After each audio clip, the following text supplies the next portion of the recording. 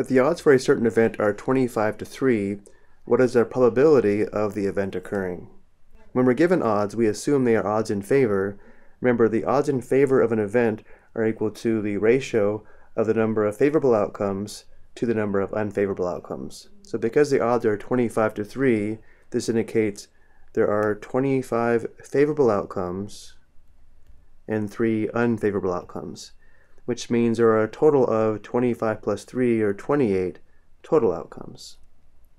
And now remember the probability of an event is equal to the favorable number of outcomes divided by the total number of outcomes. So if I call the event E, the probability of event E is equal to 25 divided by 28 or 25 28ths, which as a fraction doesn't simplify, but let's also express this as a decimal and a percentage. To convert to a decimal, we divide 25 by 28, which to four decimal places would be 0.8929. Notice how we have a 5 in the fifth decimal place, which means you round up. Which as a percentage would be 89.29%.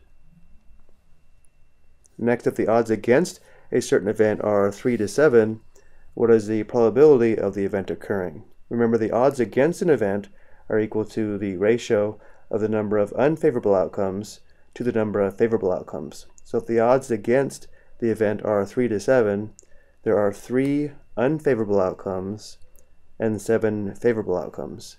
And therefore the total number of outcomes must be 7 plus 3, which is 10. And now because the question is find the probability of the event occurring, this will be the favorable number of outcomes divided by the total number of outcomes. So the probability of the event occurring is equal to 7 divided by 10 as a fraction, which is a decimal is 0.7, which is equal to 70%. I hope you found this helpful.